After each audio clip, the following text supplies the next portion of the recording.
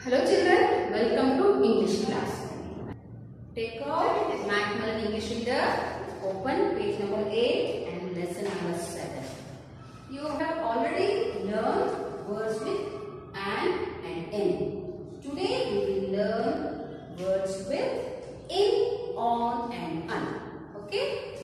Now take out your four line book, write today's date 7 10th month 2020 okay right? Lesson 7 L E S S O N lesson 7 now we are going to write words with in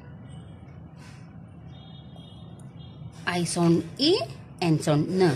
In B. In bin. D.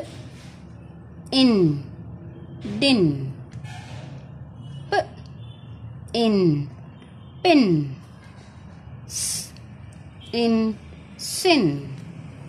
T in tin. W in win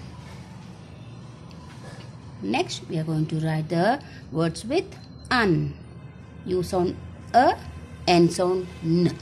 Un r a n run. B. Un bun d.